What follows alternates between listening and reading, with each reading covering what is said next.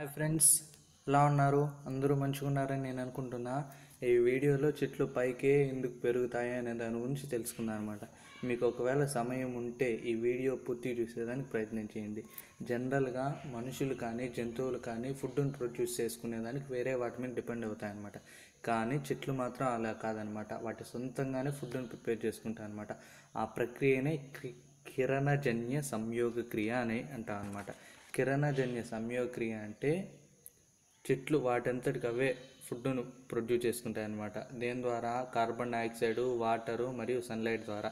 ఈ మొత్తం ప్రక్రియనే కిరణజన్య సంయోగ క్రియ అని అంటాం అనమాట ప్రతి మొక్కకు ప్రతి చెట్టుకు సూర్యరశ్మి అనేది చాలా అవసరం. సూర్యరశ్మి కోసమే భూమి ఆకర్షణ శక్తికి వ్యతిరేకంగా పెరుగుతాయన్నమాట. ఇలా పెరగడానికి ముఖ్య కారణము చెట్టులో ఉండే ఆక్సిన్ హార్మోన్ అనేది అవసరం అన్నమాట.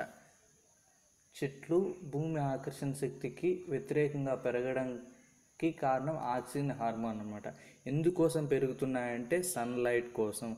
మీరు సినిమాల్లో కానీ పేపర్లో కానీ ఎప్పుడో ఒకసారి సారోళ్ళు కానీ ఎవరో చెప్పింటారు ప్రొద్దుటిరుగుడు పువ్వులు అనేటివి సూర్యుడు ఎటువైపు ఉంటే అటువైపు తిరుగుతూ ఉంటాయని. దీన్ని బట్టే మీకు అర్థం చేసుకోవచ్చు. సన్లైట్ అనేది కిరణజన్య సమయక్రియలో ఎంత ముఖ్యమైనదో. మీకు లోయర్ క్లాసెస్లో ఒక ఎక్స్పెరిమెంట్ కూడా వచ్చి ఉంటుందన్నమాట. ఏం ఎక్స్పెరిమెంటు ఒక మొక్కను తీసుకుని పోయి డార్క్ రూమ్లో పెడితే అది కొన్ని రోజుల తర్వాత వాడిపోయి చచ్చిపోతుంది అనమాట ఏ మొక్క కానీ ఎక్కువ కాలం బతకం సన్లైట్ లేకపోతే.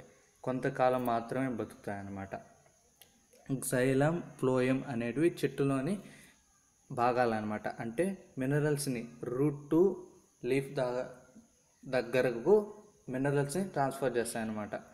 ఇది ప్లోయం అనేటివి మినరల్స్ని లీఫ్ నుంచి రూట్కి ట్రాన్స్ఫర్ చేస్తాయన్నమాట. ఈ వీడియోలో మీరు చెట్లు ఎందుకు భూమి ఆకర్షణ శక్తికి వ్యతిరేకంగా ఎదుగుతాయి అనే దాని గురించి తెలుసుకుంటున్నా. దానికి కారణం ఏదో కూడా తెలుసుకున్నారని నేను అనుకుంటున్నా. ఈ వీడియో నచ్చితే లైక్ కొట్టండి వేరే వాళ్ళకి యూస్ఫుల్ అయితే షేర్ చేయండి.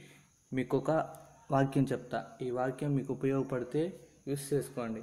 నచ్చితే వేరే వాళ్ళకి చెప్పండి. మరియు ఈ వీడియోలో ఏమన్నా డౌట్లు ఉంటే మీరు కామెంట్ సెక్షన్లో రాయండి. తమలోని చెడ్డ లక్షణాలతో పోరాడి గెలిచిన వాడే ఎప్పటికైనా విజేత అవుతాడు. ఈ వీడియో చూసినందుకు గాను మీకు ధన్యవాదములు.